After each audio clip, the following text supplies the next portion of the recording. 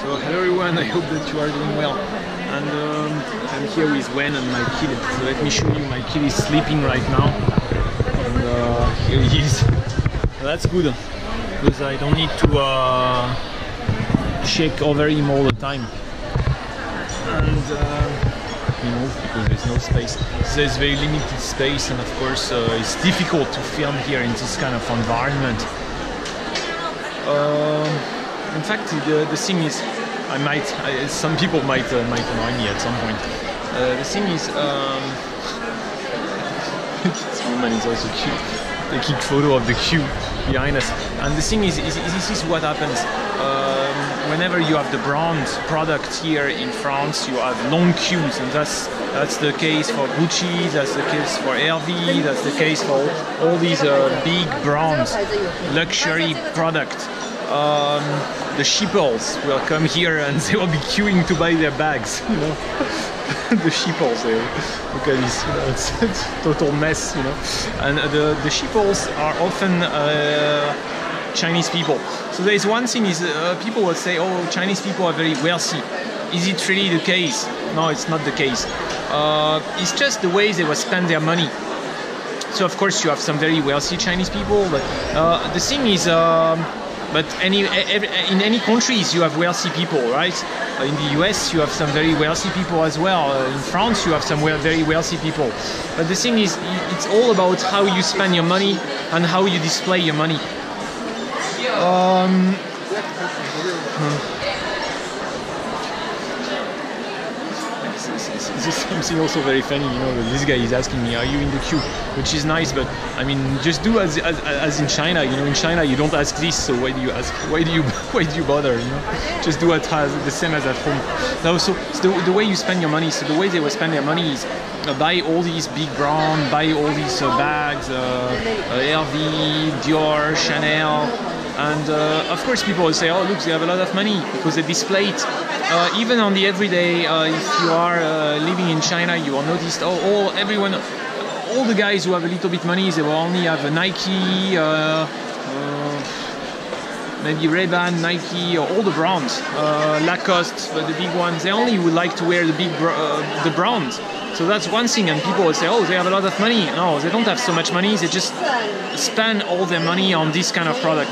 And when they have not, they don't have enough money to buy the real one, they will have the fake one, and then you think it's real. But that's the way you spend the money. You know, you can save all your money every month and just spend it all uh, to buy some bags and to buy some shoes. And that's what they are doing. You know, uh, in fact, in China, even someone is making uh, 5,000 yuan, like say uh, 6,000 yuan salary a month and then he will try to spend everything he can and just buy his LV bag at uh, 1,000 euro, you know, and that's what they will do. And whenever they, they travel, so for them it's probably the first time that they come to France, the first time that they come here, the first thing that they need to do is buy their LV bag. So I've been to France, I, I, I buy my LV bag, I buy my Gucci, I buy my. That's how it is. And um, and that's it, you know. Um, also, another way that they will spend money is buy property and buy property and get the visa. So they will spend a lot for these kind of things. So then you will think, oh, they are very wealthy. Not that much. I mean, some people are very wealthy. But the thing is, you need to consider that it is the saving of the whole life. They save everything they can and they will buy the property so that they can get their, their visa. And this is the saving of a whole life. And, and there is also the issue that um,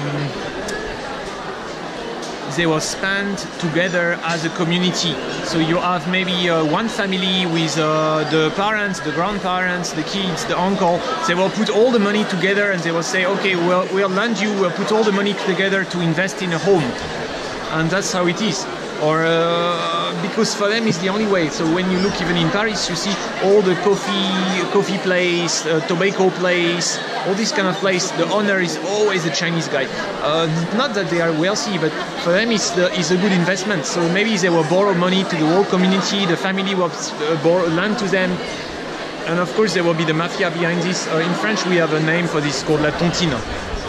La tontine means uh, the mafia will look, uh, everybody, the, the, uncle, the tonton, the uncle, the aunt, they will lend the money and they will lend the money to one guy and this guy will, will just buy uh, a business and then he will pay back for the next 50 years, and that's what's happening. You know, so of course, when you see all this, when if you look from the outside, you'll say, oh, they are buying properties, they are buying this, they are buying that, they're very wealthy. It's just a way that you spend the money. You know, uh, wealthy guys, like if you take my parents, I they are not so wealthy, but I will say they are upper middle class. Okay, uh, the way they spend their money is what they buy. Uh, they have this 300 years old house. They will pay for the repairs. They will have the nice painting. Uh, they will um, go to the very good hotel, five-star hotel. They are not going to spend so much on clothes. If you look at them, they are not very well dressed. Um, they will spend a lot, a lot of money on the food. They only buy organic food, quality food. You know, maybe, and that's something I discussed once. I remember. You know, many very wealthy people in China, what they will do, they are not going to buy organic food. They don't see the interest of this. They would rather save and buy some LV. By the way, uh, even you take some guy like uh, Jack Ma or the, the wealthiest guy in China, you look at his teeth. His teeth is all fucked up. You know, his skin is bad. His, his hair are, are ugly. He's not shaved well. And you think this guy is the wealthiest guy in China. He just doesn't care about money, and that's also a way of behaving. Uh, in fact, in the US, there is also this way of behaving. So why people are behaving this way? I think it's a perception of life. That uh, you want to have the brand, you have to want, and also uh, it's a way of life, the community way of life, the family way of life and I think it has to do also um, with the conception world. Like you, you are not able to judge the quality, or you're not able to judge the quality of life but you are able to buy depending on based on the brand or based on the image.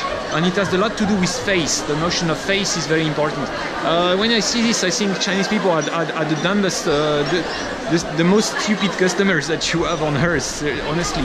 Uh, you know if I shop for something I'm going to look at the price I'm going to look at the quality I will try to, to check and compare. I'm not going to simply come and say oh I saved for one month's salary and I'm going to spend it all to buy this because it's a big brand.